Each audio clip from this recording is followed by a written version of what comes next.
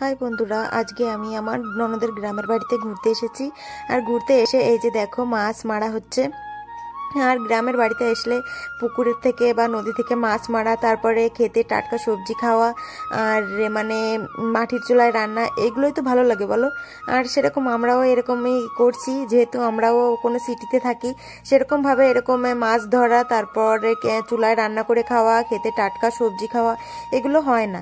তাই কখনো যদি এরকম মাঝে মাঝে হয়, তাহলে খুবই আনন্দ লাগে। আর সেজন্য আমরা এই যে, যেহেতু অনেকদিন পরেই আসছি আমার ননদের বাসায়, আর অনেকদিন পরে কি আমরা এই ফার্স্ট টাইমে আসলাম, আর ফার্স্ট টাইম এসে অনেক এনজয় করেছি, করছি এখনও। আর এই দেখো, আমার ননদ এখন রান্না করছে, শাক রান্না করছে, আর সব কিছু তোমাদের সাথে কম বেশি শেয়ার করেছি আর করার চেষ্টা করি সব সময় দেখো, এখানে আমার ভাসুর আর আমার বর দুজনেই মাছ মারছে দুই ভাই মিলে। আর সবাই যেহেতু সিটিতে থাকা হয়, গ্রামে বেশি থাকা হয় না তাই মানে গ্রামে যখন আসা হয়, তখন খুবই ভালো লাগে, আলাদা একটা ভালো লাগা কাজ করে। আর যদি সেই দেশের মতো মানে আগের লাইফের মতো যদি সেই সব কিছু করা যায়, জাল দিয়ে মাছ ধরা, নদীতে নেমে সাঁতার কেটে স্নান করা, তারপর মাটির উনুনে রান্না খাওয়া মানে অন্যরকম একটা ভালো লাগা কাজ করে, সেই আগের সব কিছু মনে পড়ে। আর এখন এই যে দুই ভাই মিলে অনেক দিন পর এক হয়েছে, আর এক হয়ে গ্রামের বাড়িতে এসে দুজনে মিলে খুব মাছ টাছ ধরছে। আনবির বাবাকে দেখে বুঝতে পারছ অনেকটা হ্যাপি অনেকটা খুশি। একে তো ভাইয়ের সাথে অনেকদিন পর দেখা, তারপর আবার সেই মানে আগের মতো মাছ ধরা। আর আনবির বাবার এগুলো খুবই ভালো লাগে। ও সবসময়ই বলে কোনো পুকুর, তালাব, নদী টদি দেখলে বলে মাছ টাছ ধরার কথা। যেহেতু আগে নাকি খুব মাছ টাছ ধরতো, ভালো লাগে ওনার।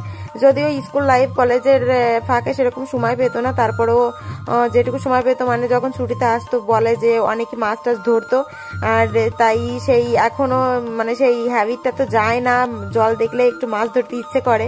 আর এখন দেখো দুই ভাই মিলে মানে খুবই মাছ ধরার চেষ্টা করছে বাট এখানে মাছ অনেকই ছিল, কিন্তু বেশি মাছ এখানে পায়নি। পরে জিজু অন্য আরেকটা নদী মতো সে এখানে নিয়ে গিয়েছিল আর এখন এই যে আনবুর বাবা এখানে মাছদের খাবার খেতে দিচ্ছে, আর এটার ভিতর মুড়ি আছে, মুড়িটা খেতে দিলে না মাছগুলো খুব আসছিল।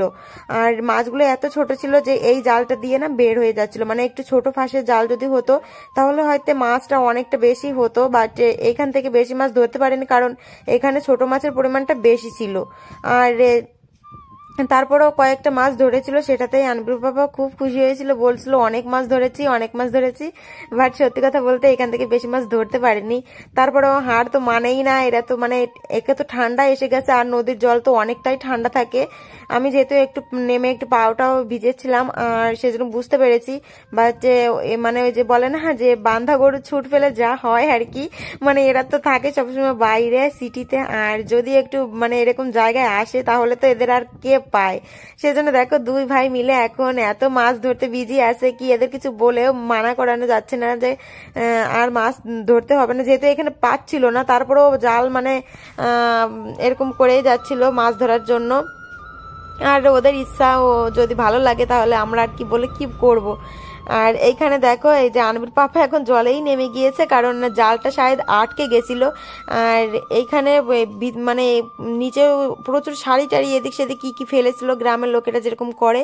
আর জালে প্রচুর পরিমাণে জড়া ছিল, ডাল টাল জলা ছিল, এই জন্য মাছ মানে যা আঁচ ছিল এর ভিতর সব কিছু বেরিয়ে যাচ্ছিল। আর এই দেখো, এখন মানে অন্য আরেকটা জায়গায় চলে এসেছে মাছ ধরতে। মানে ওই নদী বাট অন্য আরেকটা জায়গা, অন্য আরেকটা সাইড এখানেও মাছ ধরতে আসছিল বাট কোনো ফায়দা হয়নি, ব্যর্থ হয়ে গিয়েছে। আর এখানে দেখো, এটা আমার দেওর, ছোট একটা দেওয়ার এটাই আমার একমাত্র দেওয়ার আর কোনো দেওয়ার নেই সেরকম বলতে। আর এখানে জানবীর পাপা আর দুজন দুই ভাই মিলে স্নান করছে মানে তিন ভাই এক হয়েছে, বুঝতে পারছ ব্যাপারটা? আর খুবই আনন্দ করছিল তিনজনে মিলে। এটা আছে আমার ভাসুর আর এটা তো সবাই চেনে আনবির পাপা। আর ওই ছোট একটা দেখল, ওটা আমার দেওর। তোমাদের আমার ফ্যামিলিদের সবার সাথেই পরিচয় করিয়ে মানে দেখিয়ে দিচ্ছি। আর আমার দেওয়াটা খুবই ভালো, ছোট, বেশি বুদ্ধি হয়নি এখনও, কিন্তু খুব ভালো। এখানে দেখো এই যে আনবি এখন ওর পাপাকে স্নান করা দেখে থাকতেই চাচ্ছে না। তাই আমি বললাম যে, ঠিক আছে, একটু স্নান করে দাও। ও তো মানে জন্মের পরে এই ফার্স্ট ও কোনো নদীতে এসে স্নান করছে, কোনোদিনও স্নান করিনি। তাই আমি ওর মানা করিনি। আর যেহেতু মানে মিটমিটি রোদ ছিল দুপুরবেলা তো আমি বললাম, ঠিক আছে, একটু স্নান করে দাও, ওরও ভালো লাগবে। ব্যাস, এটুকুই। আর এখানে দেখো, আনভিক খুবই মজা করছিল জলে নেমে। ওর ঠান্ডা তো মেসেজই হচ্ছিল না, আর ঘরেও তো এইরকমই করে। তোমরা সবাই দেখেছ যে একটু জল পেলেই সেটা দিয়ে খুব স্নান করে।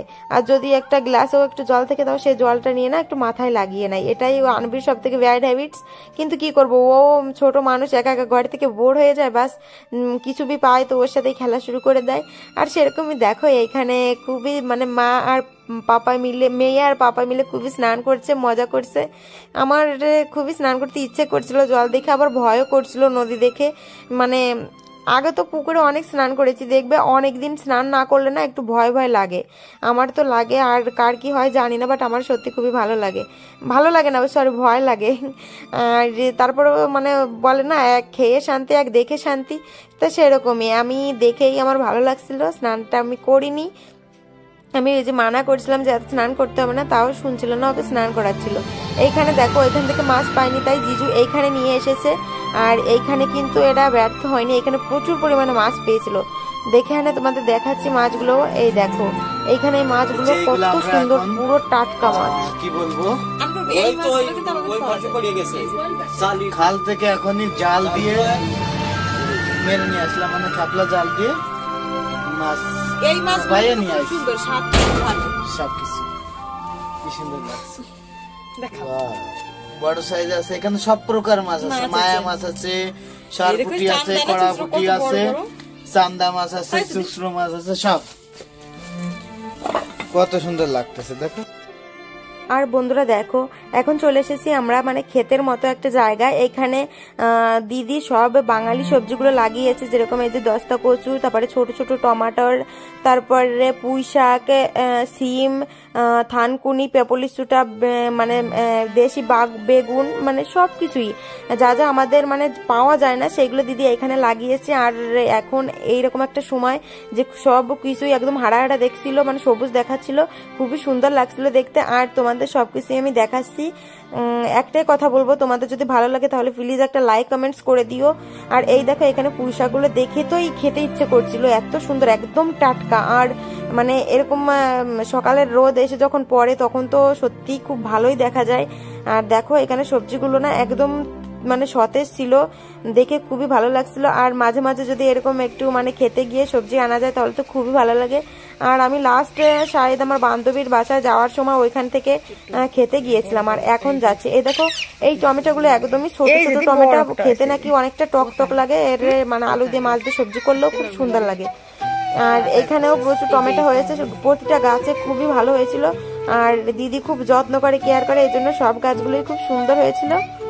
আর সবজি নেওয়ার পরে এই যে দেখো, আমরা এখন বাড়িতে চলে এসেছি। আর যে মাছটা আমরা কেটে রেখেছি, সেটা এখন দিদি মাটির উনুনে রান্না করছে। আর এই দেখো, এখানে না ছোলা শাক আমি মানে সাফ করছিলাম, বেছে দিচ্ছিলাম। আমি ছোলা শাক কখনো খাইনি। তাই দিদি বলল যে, ঠিক আছে, তাহলে ছোলা শাক দিয়ে ছোট মাছের সবজি করি, খুব ভালো লাগবে আর মাছটা ভাপাবে। আর যেহেতু দেশি মাছ, এই মাছ ভাপা, তারপরে শাক সবজি, এগুলো খুবই ভালো লাগে। আর সেজন্য আমি এই যে শাকটা সাফ করে দিচ্ছি, আর আমি জানতামও না কেমন করে সাফ করতে হয়, রান্নাটাও আমি জানি না। বাট দিদি আমাকে শিখিয়ে দিয়েছে, বলেছে এরকম করো। আর এটা খেতে না একদম কলাই শাকের মতোই লাগে। মানে তোমরা যারা কলাই শাক খেয়েছো, তারা তো জানো, একদমই ওই রকম লাগে। খুব সুন্দর স্বাদ লাগে। আমি তো ফার্স্ট টাইম খেলাম, আমার তো খুবই ভালো লেগেছে। আর আনবির পাপাও না শাকটা খেতে অনেক ভালোবাসে। আগে নাকি শাকটা সেরকম খেত না। আমিও না, আগে খেতাম বা এতটা ভালো লাগতো না। এখন যেহেতু পাই না, সেজন্য বাইরে থাকি, সেজন্য খুবই ভালো লাগে। আর এখানে দেখো মাছগুলো ভেজে নিচ্ছিল ভালো করে, আর আমরা অনেক মাছও খেয়েছি, ভাজা মাছ টাটকা পুকুরের নদীর মাছ, আরও মাটির চুলোয় রান্না করা, সত্যি আলাদা একটা ভালো লাগা। আর এখানে আমরা দিদির গ্রামের বাড়িতে এসেছি মানে দিদির তো শহরের পরে থাকে, আর গ্রামেও বাড়ি আছে, দিদি নিজের বাসা তাই সেইখানেও আমরা আসলাম একটু ঘুরতে। আর এখানে জানুর বাবাকে আমি বলছিলাম যে আমিও দেখো কত প্রকারের মাছ আছে। এখানে মায়া মাছ আছে সরপুটি মাছ আছে ছোট ছোট তেলাপুয়ার চাও আছে কড়াপুটি আছে আরও অনেক প্রকার। আর চান্দা মাছ আছে। কত ভালো লাগছে না? বলো তুমি। আমার তো খুবই ভালো লাগে আমি তো আগেই বলেছি আমি এদিক সেদিকে যাই গ্রামের দিকে আমার খুব ভালো লাগে। আর এখানে হচ্ছে দিদির বাসা মানে তোমরা দেখলে কালকে এসলাম ওইটা মানে সিটির পরে ওইটা রুম আর এটা হচ্ছে গ্রামের বাড়ি। মানে এখানে এসে আমরা মানে সবকিছু এই যে যেরকম কাঠের উনুনে রান্না মানে এই এসে মাটির উনুনে রান্না কাঠ দিয়ে। দেশি মাছ হ্যাঁ? দেশি এই যে শাক মাছ খুব ভালো লাগছে না? মানে খুব এনজয় করছি খুব সত্যি। আজি করেছে যে মাছ মেরে নিয়ে আসছে এই যে। এটা ছিল সরপুটি মাছ। এটা যে চাপলে মাছ ছিল আর এই যে পুটিগুলো। এই যে আর এটা মায়া মাছ ছিল। দাদাবু যে হয়ে গেছে না, আসো। দাদাবুর একটা কিছু দুটো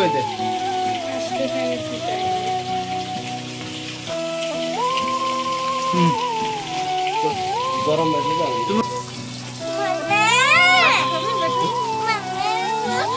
দেখো জয়া তো মাছ খেয়ে মজা নিচ্ছে, দিদি এতে মাছ ভাজি করে গেছে স্বাদ মাছে সত্যি দারুণ।